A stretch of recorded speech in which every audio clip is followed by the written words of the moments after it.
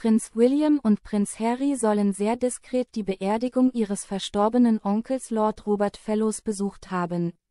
Die Brüder seien vor Ort aber angeblich auf Distanz gegangen. Lord Robert Fellows, Onkel von Prinz Harry, 39, und Prinz William, 42, ist vor rund einem Monat im Alter von 82 Jahren gestorben. Erst kürzlich habe laut britischen Medienberichten die Beerdigung stattgefunden. An dieser sollen demnach auch Harry und William ohne großes Aufheben teilgenommen haben.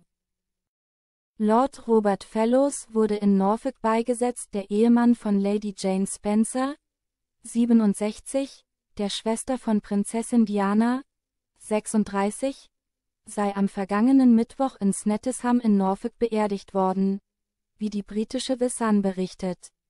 Ein enger Freund der Familie habe demnach bestätigt, dass der britische Thronfolger und sein jüngerer Bruder an einem Gottesdienst vor Ort teilgenommen haben.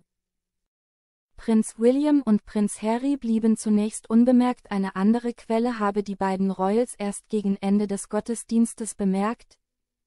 Ich wusste nicht, dass sie da waren.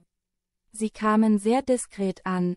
Insider hatten demnach zuvor angenommen, dass Harry, der mit seiner Ehefrau, Herzogin Meghan, 43, in den USA lebt, nicht anreisen würde. Die Brüder, deren Verhältnis als äußerst angespannt gilt, sollen während des Gottesdienstes Distanz gewahrt haben, wie es weiter heißt. Ein Anwohner habe der Boulevardzeitung gesagt, William und Harry waren beide da, aber wir haben sie nie miteinander sprechen sehen, und sie haben Abstand gehalten. Charles Spencer, 60, Bruder der verstorbenen Diana, hatte Ende Juli Fellows Tod auf der Social-Media-Plattform X bestätigt. Mein wundervoller Schwager Robert ist nicht mehr unter uns.